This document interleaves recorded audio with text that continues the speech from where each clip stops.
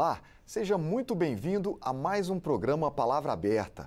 Nesta edição, nós vamos entrevistar um deputado que está em seu primeiro mandato, tendo tomado posse após outro deputado ter se licenciado do cargo. Ulisses Guimarães, do MDB de Minas Gerais, é veterinário e já foi duas vezes prefeito da cidade de Caldas, em Minas Gerais. O parlamentar conversa agora com a gente sobre as perspectivas do mandato na Câmara Federal. Deputado, seja muito bem-vindo ao programa Palavra Aberta.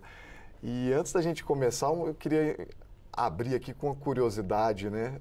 As pessoas me procuraram muito antes dessa entrevista, dizendo: Ah, eu quero ver essa entrevista, como é que é essa história, Ulisses, o deputado Ulisses Guimarães, né? Por que, que o senhor tem esse nome?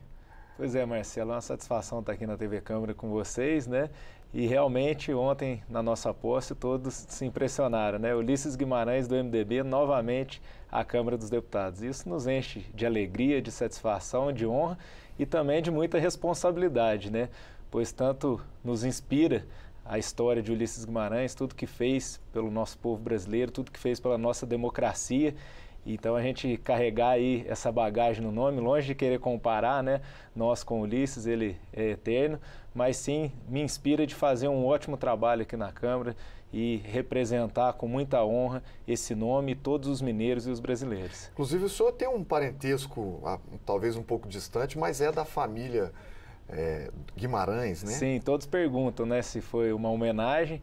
Né? Minha mãe gostava realmente de, de Ulisses, mas não só da, do Ulisses Guimarães político, mas da história né, de Ulisses, da Grécia, e nós somos da mesma família. Né? Meu nome completo é Ulisses de Porto Guimarães Borges, eu que sempre gostei de política, sempre me inspirei nele, né? usei o nome político Ulisses Guimarães, mas é o mesmo Guimarães, é a mesma família, a gente está ali, né, Poços de Caldas, cidade que eu sou natural, está na divisa ali com o estado de São Paulo, e a gente sempre esteve muito próximo da, da história, da vida, da carreira política do Ulisses Guimarães, do nosso saudoso.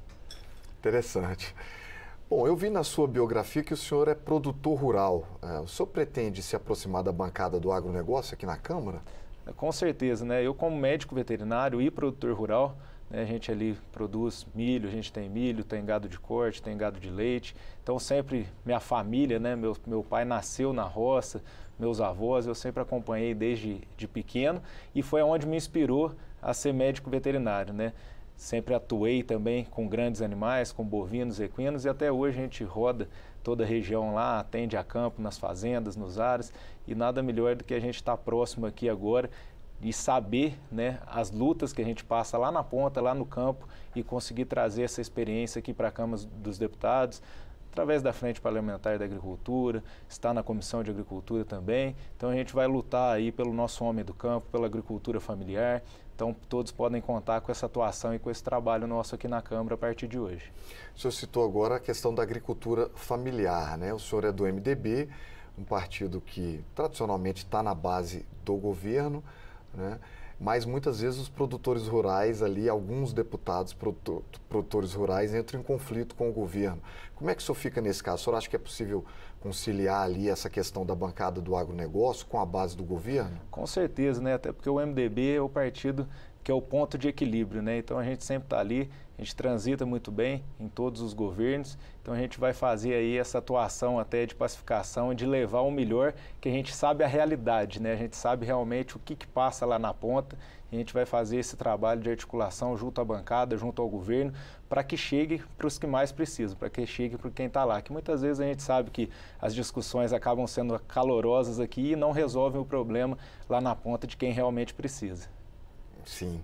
Bom, o senhor disse que é médico veterinário, né? Isso. Então, é, já me falaram, inclusive, que o senhor é mais um deputado, mais um deputado que chega para engrossar a bancada dos defensores dos direitos dos animais. É mais ou menos isso mesmo? Isso mesmo, né? A gente sempre atuou, já tive a oportunidade né, de ser prefeito por dois mandatos, então a gente tem vários projetos, vários trabalhos já né, a nível municipal e até a nível regional lá com ônibus castramóvel, que a gente atuou aí em 12 municípios rodando, fazendo é, castrações, a legislação dos municípios também, a legislação dessa questão do respeito da causa animal, de posse responsável, é muito importante também para a questão das zoonoses, né?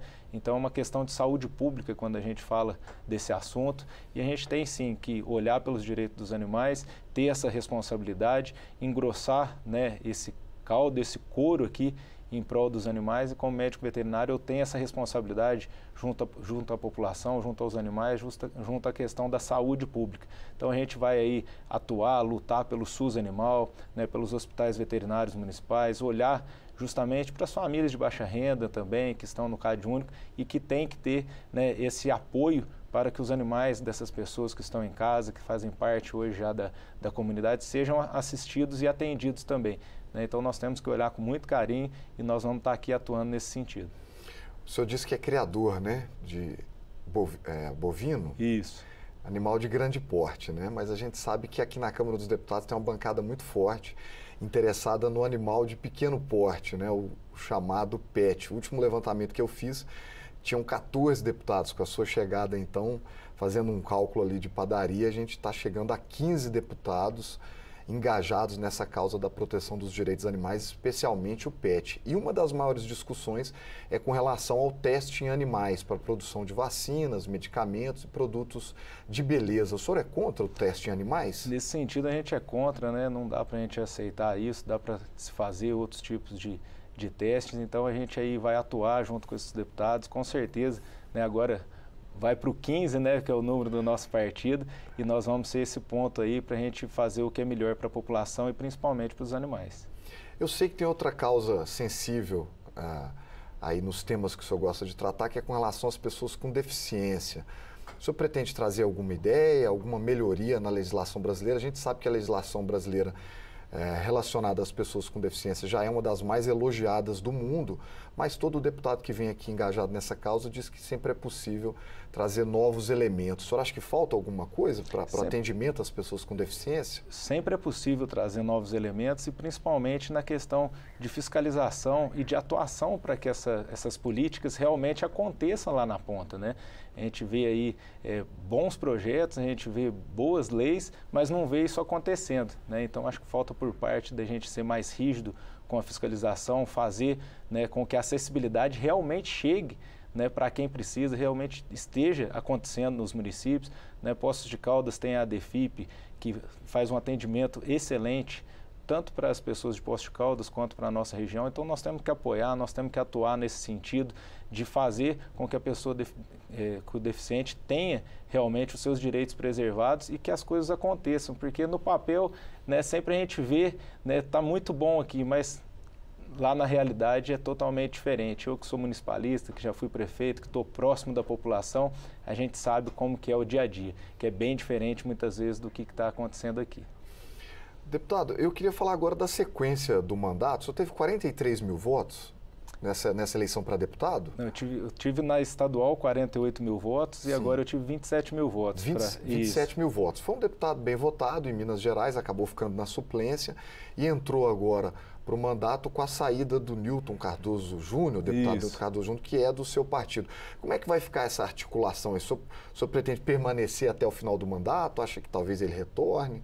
É, nós estamos né, sempre conversando, agradecer sempre o apoio que a gente tem do nosso MDB, do presidente nacional Baleia Rossi e o Nilton Cardoso junto, que é o nosso presidente estadual. Então a gente sempre fortalecendo as fileiras do partido, para mim é uma honra né, estar tá nessa bancada tão importante que é a bancada do MDB aqui na Câmara e nós vamos trabalhar muito, né, mostrar todo o nosso potencial, nosso trabalho, nossa dedicação para que a gente fique aí né, por mais tempo possível aqui na Câmara, representando a nossa região do sul de Minas, Poços de Caldas, que é a maior cidade do sul de Minas e que já estava uma década né, sem deputado. Então isso faz muita diferença, a gente sente lá quando a gente tinha deputado e hoje que a gente não, não, não tem deputado já há uma década.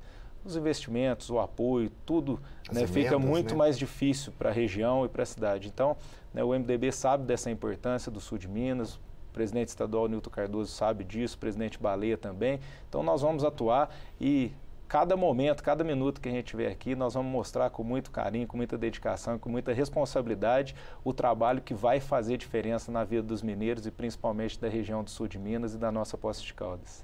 Deputado, nosso programa está chegando ao final. Eu queria agradecer ao senhor por ter participado e desejar boas-vindas ao Congresso Nacional. Eu que agradeço, né? Que Deus nos abençoe e que a gente consiga aí fazer um mandato de êxito, de prosperidade e com muita honra, né? O saudoso Ulisses Guimarães vai ter orgulho de ter mais um Ulisses Guimarães aqui do MDB na Câmara dos Deputados. Fico sempre à disposição e conte com a gente. Muito obrigado, deputado. Eu que agradeço. E se você quiser rever ou compartilhar esta entrevista, basta acessar a página da Câmara dos Deputados na internet ou procurar pelo nosso canal no YouTube. Siga também as nossas redes sociais. Muito obrigado pela sua audiência e até a próxima.